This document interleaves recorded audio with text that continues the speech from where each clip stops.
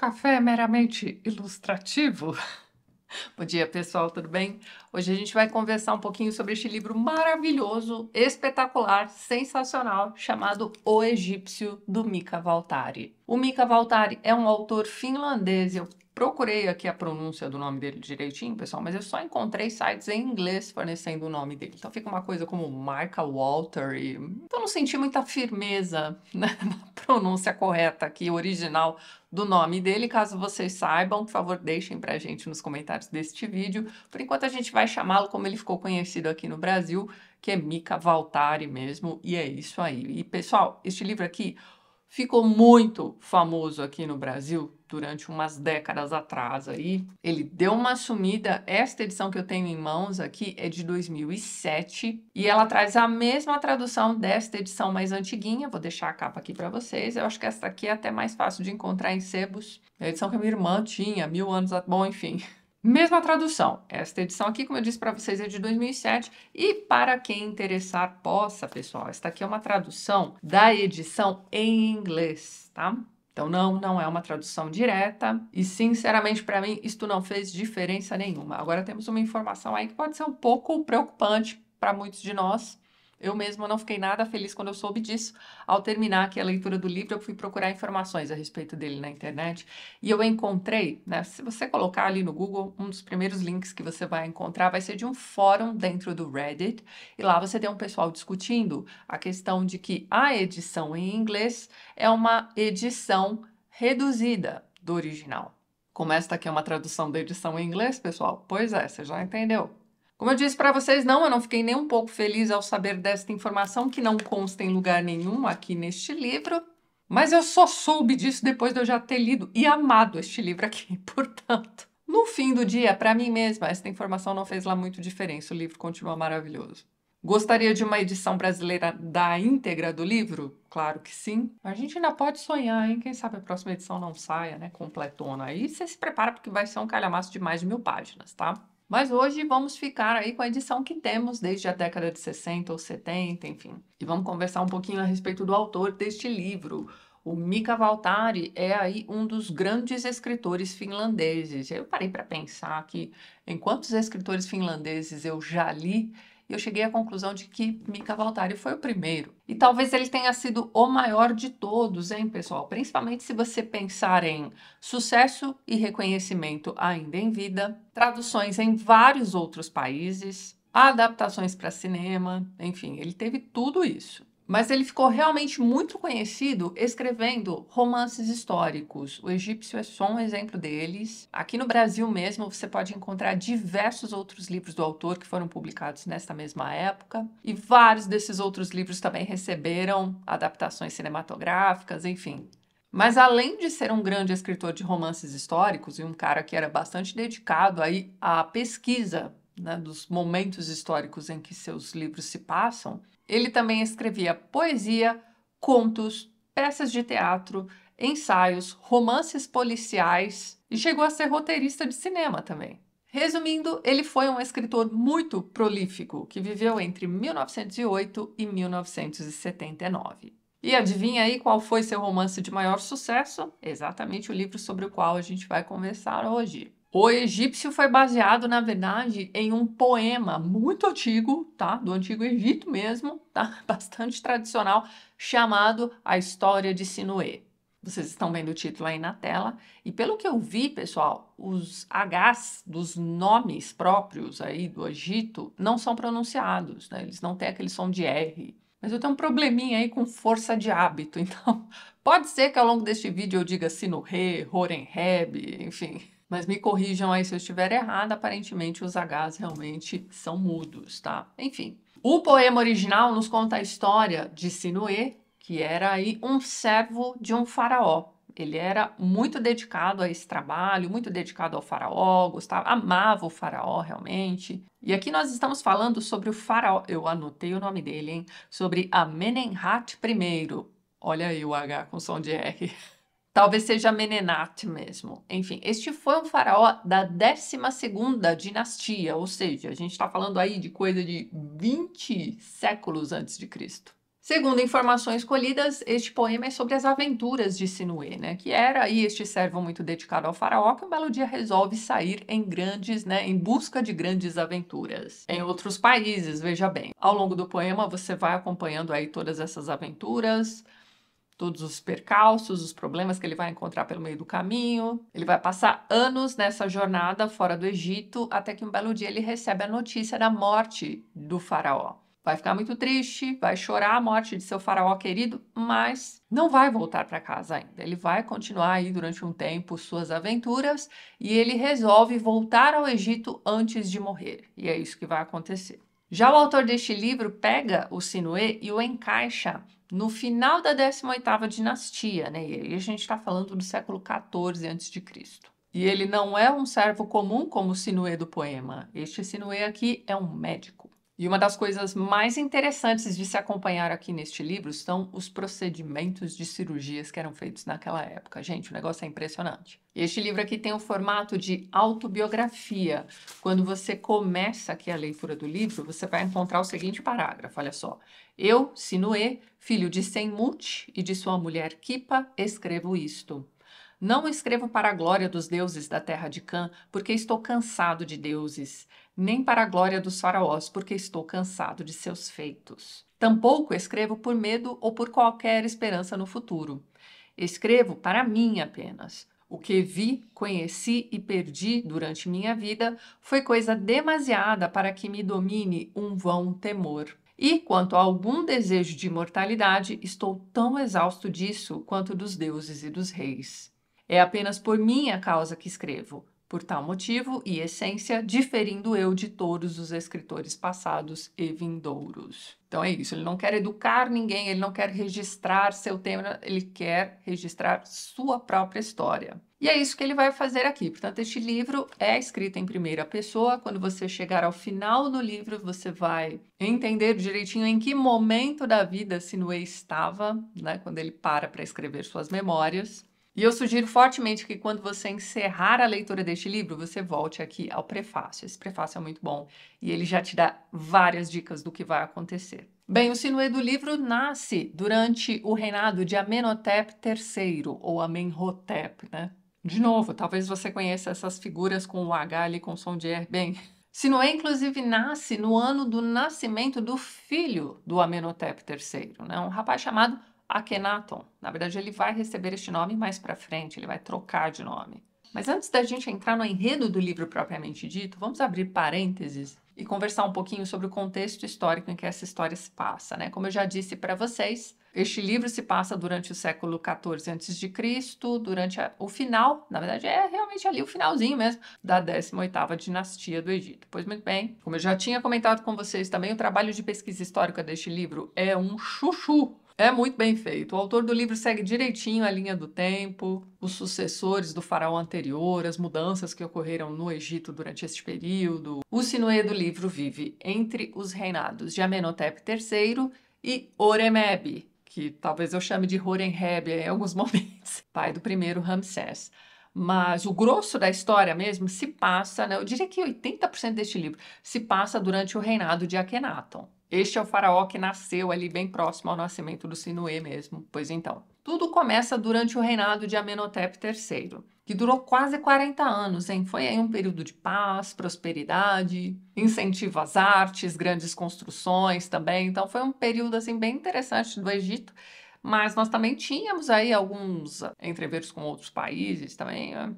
Tem que ter um pouquinho de emoção aí nesses 40 anos de calmaria, não é mesmo? Mas em geral foi sim um período de calmaria. Então o foco deste faraó estava mais na diplomacia do que nas guerras mesmo. Então este era um faraó que negociava com a Síria, com a Babilônia, por exemplo. Mas Amenhotep III já era um faraó mais ligado ao deus Atom, que era o deus Sol, o deus único, inclusive a palavra átomo, né? Enfim, Vem do grego, mas também pode ser uma palavra aí que tenha derivado deste deus egípcio antigo aqui também, enfim. A questão é que este faraó já era mais ligado a Atom do que a Amon, ou aos demais deuses egípcios aí que eram adorados naquela época, sendo Amon aí o grande deus mesmo daquela. Bom, este também era um faraó que tinha ali uma saúde meio fraca, enfim, ele logo falece aqui na história do livro e deixa o trono para seu filho Akhenaton. Este sim, desde sempre, um devoto ferrenho do deus Aton tinha saúde fraca desde sempre e dos faraós ele era o que tinha o crânio mais alongado. Akhenaton também tinha epilepsia, né? Mas naquela época, né, a sua, sua condição ainda não tinha este nome, obviamente. É dito aqui que ele tinha crises fortíssimas de cefaleia e que durante essas crises ele entrava em transe. E aí é o seguinte, durante este transe, ele tinha visões. E aí uma história que eu ouvi há muito tempo, pessoal, é a de que durante essas visões ele via um homem vestido de túnica, cujo rosto não dava para ver direito, né, porque era meio envolto em névoas, mas ele conseguia ver também na região do peito do homem um coração coberto por espinhos ele acreditava que era o deus Aton, né? Então este deus falava com o faraó durante seus transes.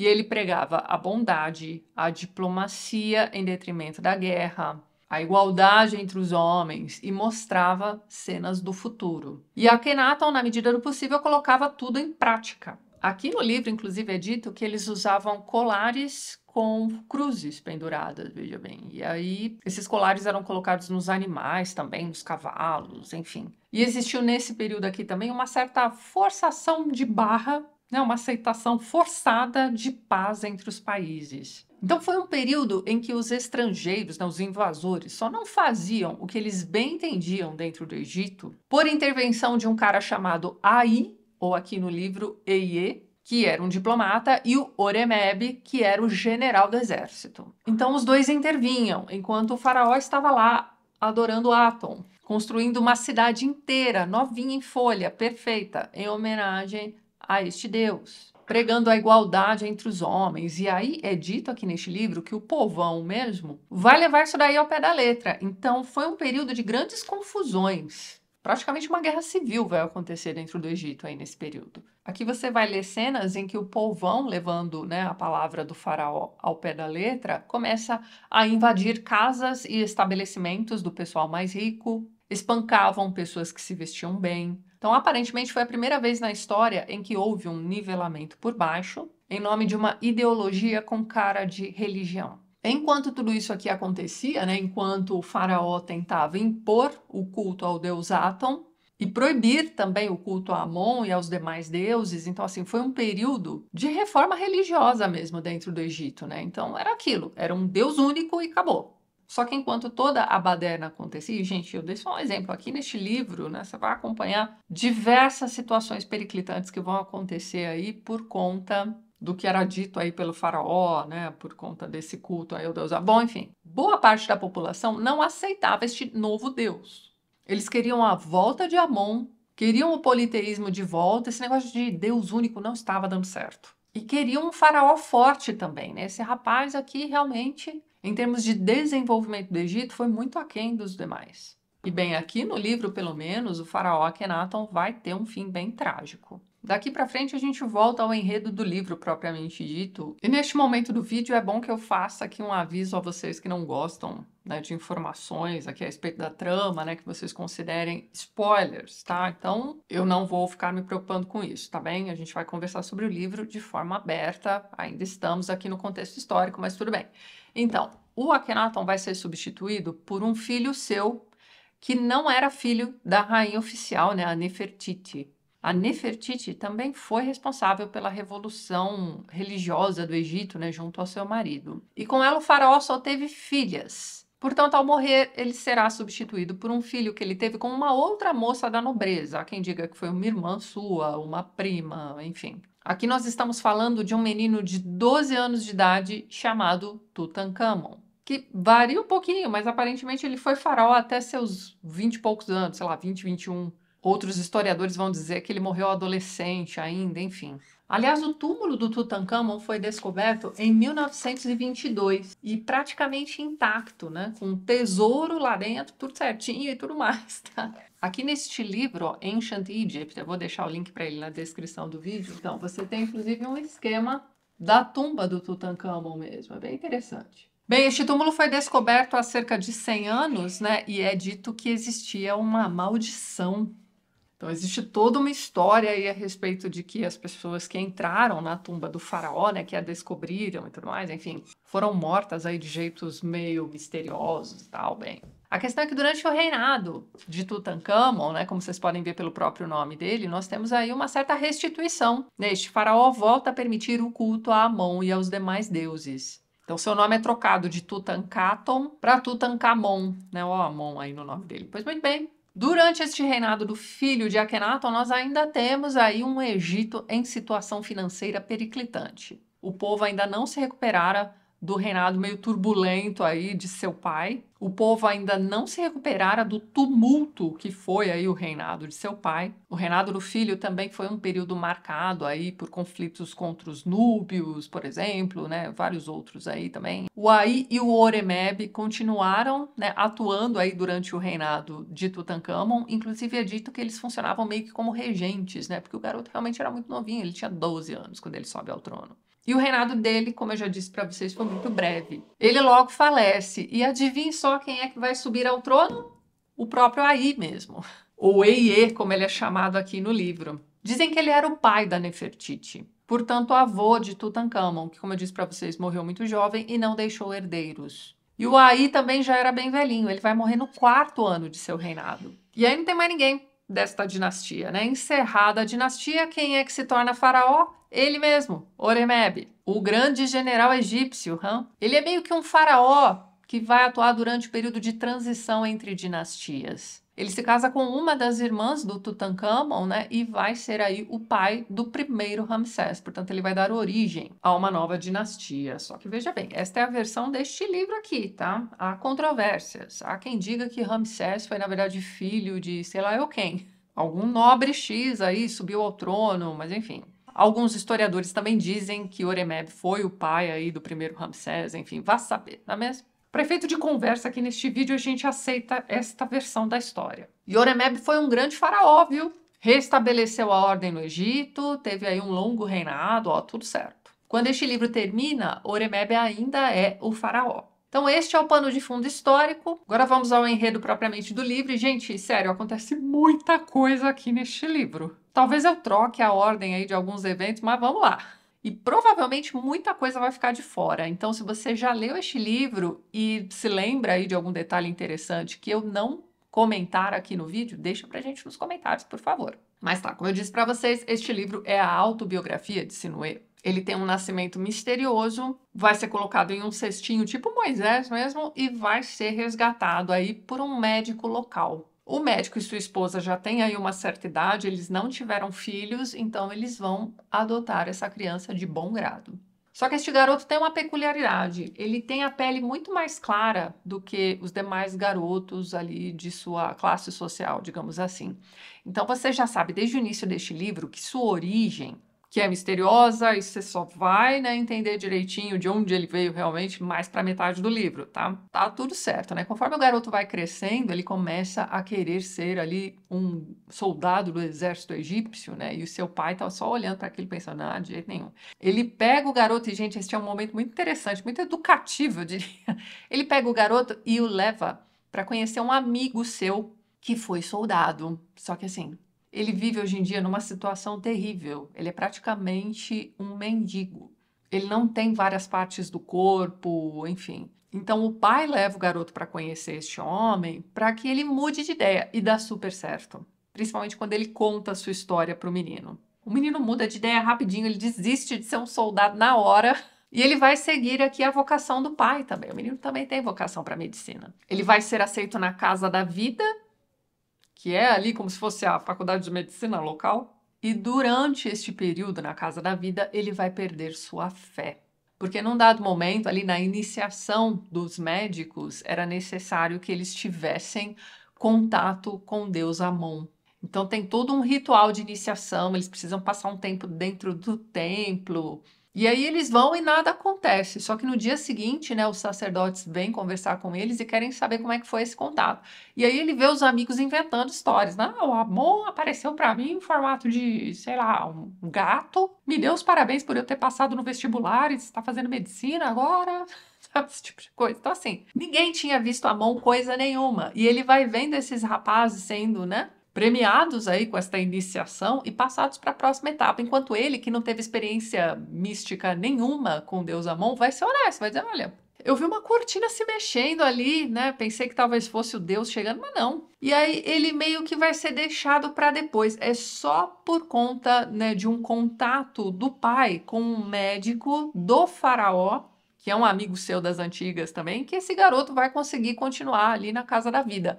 Mas por conta disso, ele perde a fé. Ele não só não viu o Deus dentro daquele ritual de iniciação, como ele viu todos os outros rapazes inventando aquelas histórias mirabolantes de visões e sendo muito bem aceitos por isso. Bem, num dado momento, por conta deste contato aí com este velho médico do faraó e tudo mais, ele também meio que vai ser inserido ali na casa do faraó, vai se desenvolvendo como médico, vai conseguindo aí posses, digamos assim. Num dado momento ele vai ter também um escravo, um cara chamado Capta, que, gente, pelo amor de Deus, é o melhor personagem deste livro.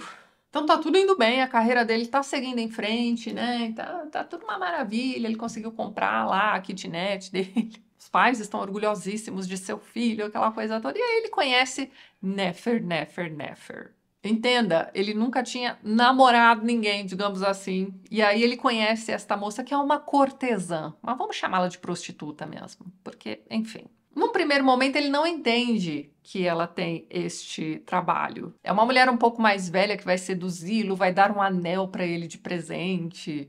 E ele fica com aquele anel e fica com aquela ideia. É uma mulher lindíssima, super sedutora, tá? Maravilhosa mesmo, entendam isso até que um belo dia ele a reencontra, ele já está um pouquinho mais velho. E aí, digamos que ele contrata os serviços de Nefer, Nefer, Nefer. E aí, danou-se, porque ele vai se apaixonar terrivelmente por esta mulher, que vai tirar tudo dele. É um momento, assim, meio desesperador da leitura, porque você vai vendo esse cara fazendo merda por causa desta cortesã. E a coisa só piora, é uma bola de neve. Então ela começa, veja bem, dizendo para ele algo como: Ah, se você me ama, me passa aí a sua kitnet. Passa a escritura para o meu nome. E assim, ele vai na hora até o cartório né, passar a, a, sua casinha aí para o nome dessa mulher. Até aí tudo bem. Você fala, beleza. O cara é meio burro, mas tá apaixonado, né? Vai fazer o quê? Só que aí ela vira para ele e diz assim: Não, mas eu sei que seus pais aí têm uma casa bem bacana também. Que tal você passar a escritura da casa deles pro meu nome também? E ele vai lá e faz isso. Entenda, ela não faz nenhum tipo de chantagem, nada. Ela só sugere e ele vai e faz. Dali a pouco ela fica sabendo que os pais dele têm um túmulo num cemitério ali X, que é muito importante, ali uma coisa muito cara, né? Então você vê ali que eles realmente juntaram dinheirinho a vida inteira para ter aquele túmulo, para ter o enterro próprio dos egípcios, né? Que é, gente, o enterro para eles é uma coisa muito importante. Aqui no canal a gente já tem um vídeo sobre o livro dos mortos do Antigo Egito. Lá eu explico para vocês direitinho como é que funcionam esses rituais. Eu vou deixar o link aqui para vocês vejam. É tudo muito interessante. Mas então, ela simplesmente pede para que o rapaz passe o túmulo dos pais para seu nome também. E ele vai lá e faz isso. Só que no caminho de volta pro cartório, né, depois dele já ter feito a merda, ele vai encontrar um cara que vai dizer assim: Olha, eu tava te procurando, porque aconteceu um negócio terrível ali com seus pais. Eles foram despejados da casa deles, né? Porque afinal de contas a casa deles não é mais deles. Você passou a escritura para outra pessoa. E eles entenderam que se você fez isso é porque você tem um motivo muito importante, não é mesmo?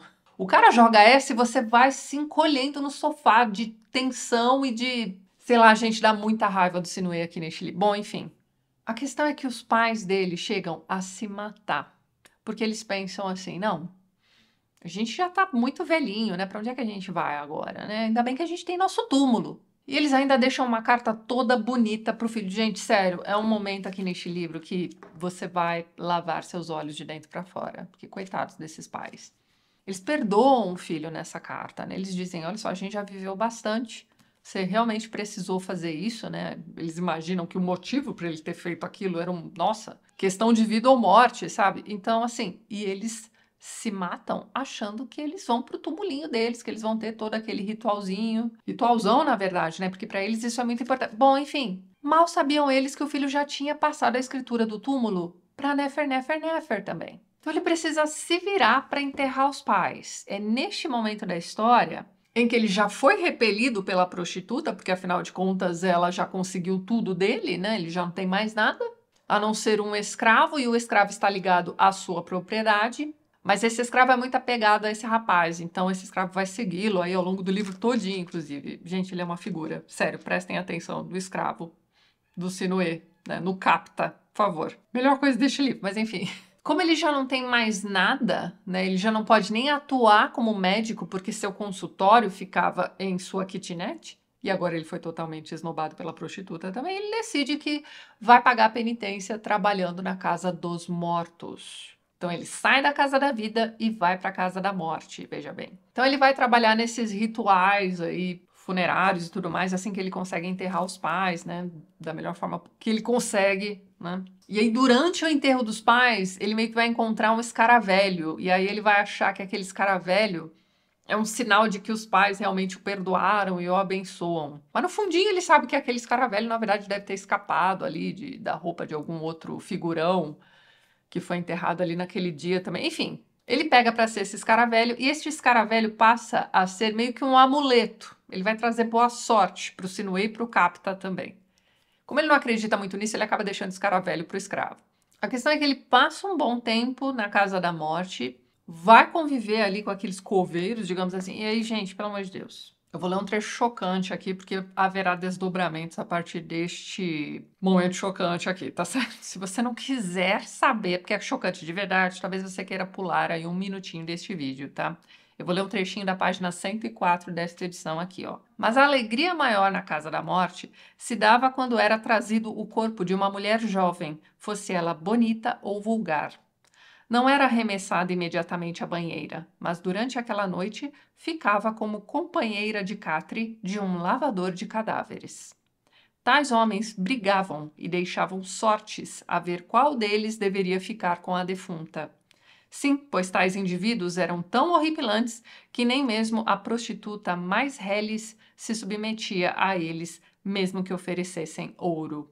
Se você não ficou chocada é porque você não entendeu muito bem, volte aí e ouça novamente, tá? Mas vamos lá. Bem, o Sinui deste livro também vai fazer aí diversas viagens para fora do Egito, enfim, ele vai rever aí seu amigo de infância, adolescência, um rapaz chamado Oremeb, que agora é o general do exército. Ele meio que vai se tornar um espião para este rapaz, mas antes disso, ele vai passar um período, né, convencido pelo capta, ele volta a atuar como médico, ele vai conhecer uma moça chamada Mineia, passando por um reino X aí, que agora eu já não me lembro qual, enfim, ele vai tratar o rei daquele lugar e aí existe toda uma festividade chamada Dia do Falso Rei, em que eles escolhem como se fosse um rei momo, sabe? Para ser festejado naquele dia. Só que no final do dia, este falso rei será morto. A festividade é essa aí, certo?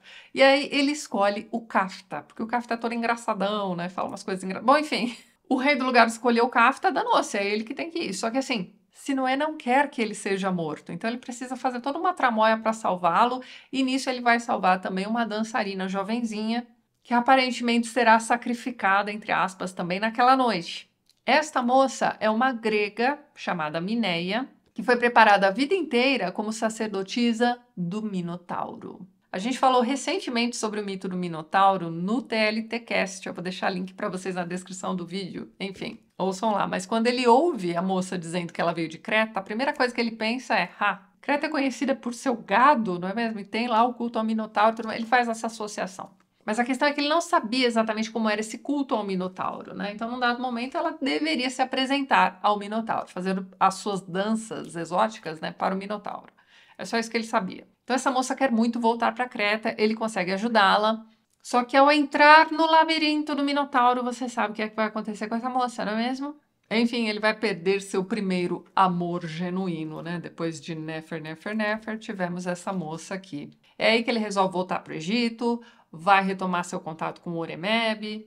Ele passa um tempo como médico do exército, depois o faraó começa a ter ali suas crises de epilepsia, ele vai se tornar também médico do faraó e ele vai funcionar como um espião do Oremeb, como eu disse para vocês. Durante a pregação, né, digamos assim, do faraó com relação àquele deus Atom, ele passa a achar que vai ser bacana retomar a fé e ele passa a acreditar também nesse deus Atom. Então ele se torna uma figura muito apegada ao faraó e aí vamos ter uma rusga na amizade com Oremeb, porque Oremeb quer né, que seu exército seja forte, que as guerras continuem, enfim. Durante os conflitos aí que acontecem durante o reinado de Akhenaton, esse rapaz também vai perder, né, mais um amor de sua vida, uma moça chamada Mérito, que é meio que a funcionária do Capta. Nessa altura do campeonato, ele já é dono de uma taverna de sucesso, mas continua tratando Sinui como seu amo. A relação entre esses dois personagens é muito interessante. E aos poucos você vai vendo que o Capta é muito mais inteligente do que Sinui.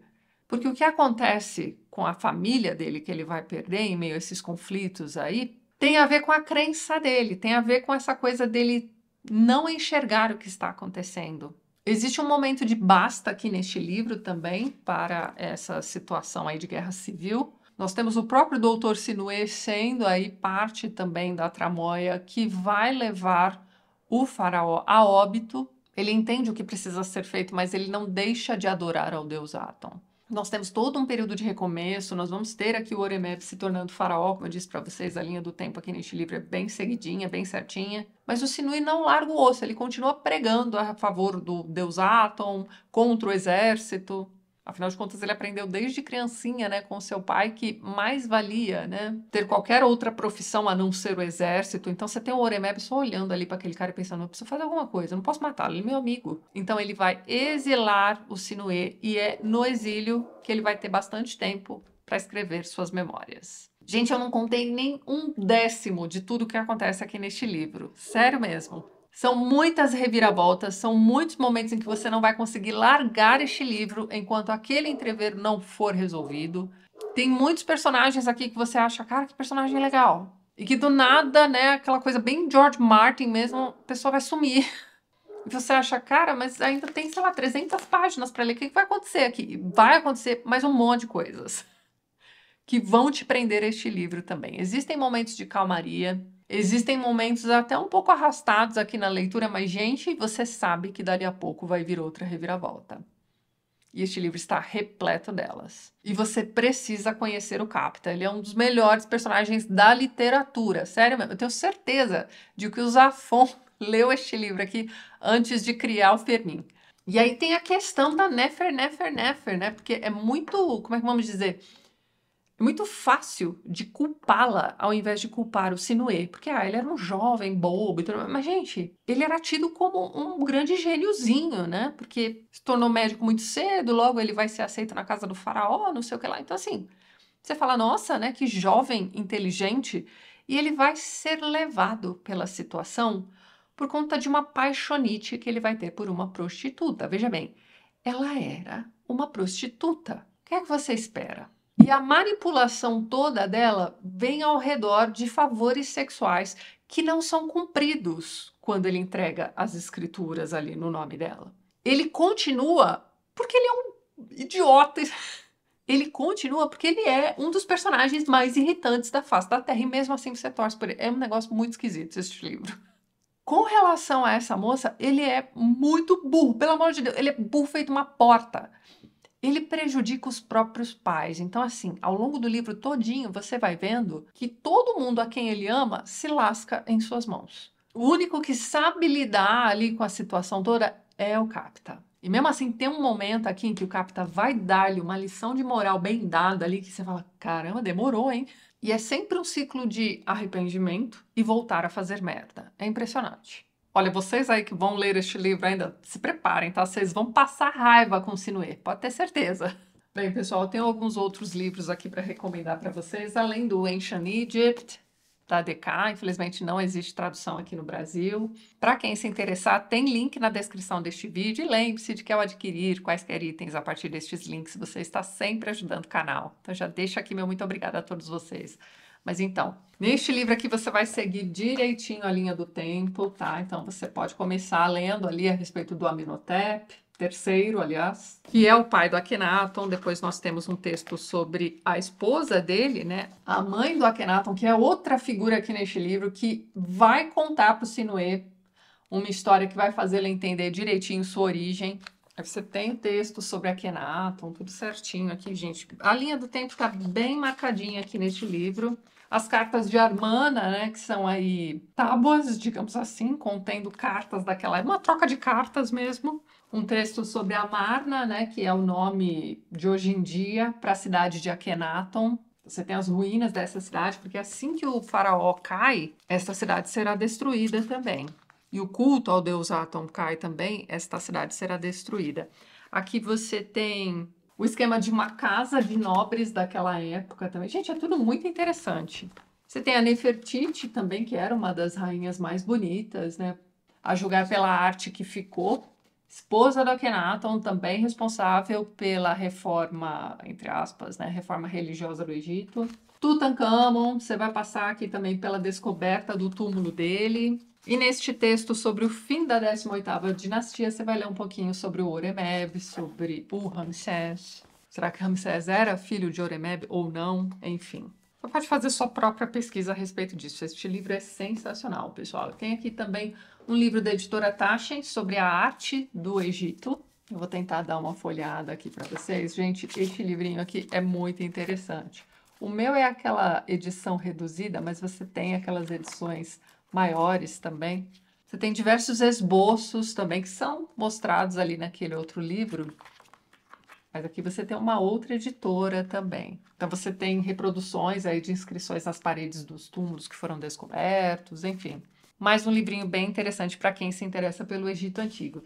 E um livrinho bem interessante, pessoal, escrito pelo Isaac Asimov, ele mesmo, o cara dos robôs, né? Ele tem uma série de livros sobre momentos históricos, né, sobre povos importantes aí da humanidade, que vem saindo pela editora Planeta já tem um tempinho. Um deles é este aqui, ó, Os Egípcios. Sobre esta, este trecho aqui da linha do tempo, né, tratado no egípcio, este livro traz algumas informações um pouco diferentes sobre filiações principalmente. Então, assim, você tem ali no, no capítulo 6, A Queda do Império, você tem ali o reformador religioso, então você vai ler sobre Akhenaton, você vai ler sobre o fracasso da reforma, interessante. Sobre Oremeb, olha só, um general chamado Oremeb converteu-se em faraó em 1339 a.C., sucedendo Ai, e foi sob seu governo que os velhos costumes voltaram com força total. No livro mesmo é dito que na época de Tutankhamon isso já vinha sendo né, resolvido. Na realidade, Oremeb não pertencia à dinastia de número 18, mas costuma ser incluído como último membro dessa linhagem por ter sido um oficial importante de Akhenaton e não ter fundado uma dinastia reinante própria. Então, aqui o Asimov não considera o Oremeb como pai de Ramsés I, tá? Oremeb morreu em 1304 a.C.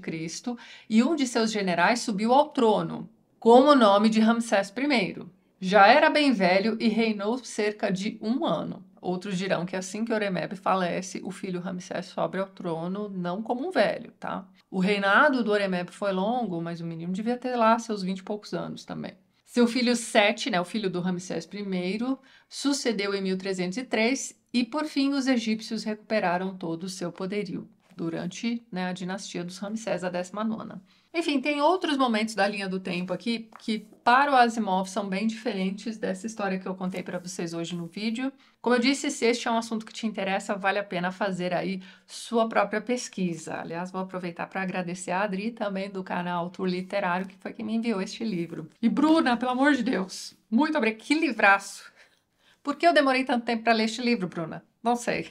Aliás, todos sabemos, né? Minha fila de leitura realmente é bastante longa, mas antes tarde do que nunca. Tem também o filme. Gente, eu vi esse filme quando era muito criancinha, O Egípcio. Que não, não é tão legal quanto o livro, mas ainda assim é bacana você ver ali aqueles personagens a quem você vai se apegar bastante durante o livro, no filme. Foi na época também um desses filmões aí épicos de Hollywood, mas eu não sei porque ele, hoje em dia ele não é tão lembrado.